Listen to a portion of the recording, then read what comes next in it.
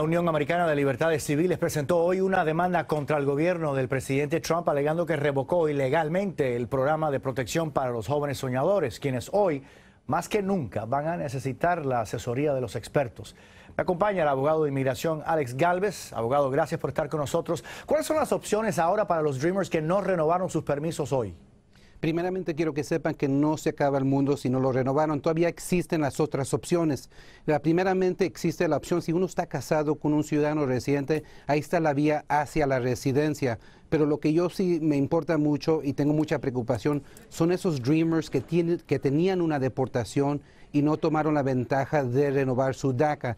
Esas personas en verdad sí van a correr el gran riesgo de que efectúen la deportación previa. Para esos dreamers que tenían una deportación quiero que hablen con un abogado para tomar esos próximos pasos para evitar que inmigración efectúe esa deportación.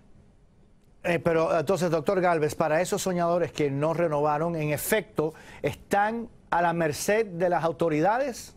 Absolutamente, cuando el DACA se le expire, uno ya está expuesto a una deportación, uno pierde ese amparo que tenían bajo el DACA, se le termina el permiso de trabajo y inmigración puede venir a detenerlos pero todavía no, no, quiere decir que no son elegibles para todos los otros alivios que existe bajo la ley de migración. Muchas personas no saben que son elegibles para otros alivios, aunque el DACA se les terminó. Por eso usen el tiempo ahorita para poder saber cuáles son los alivios inmigratorios que ustedes pueden tomar ventaja. Doctor Alex Galvez, muchísimas gracias por estar con nosotros. Pelea fue vía Twitter porque el mandatario desinvitó de un evento en la Casa Blanca al californiano Steph Curry.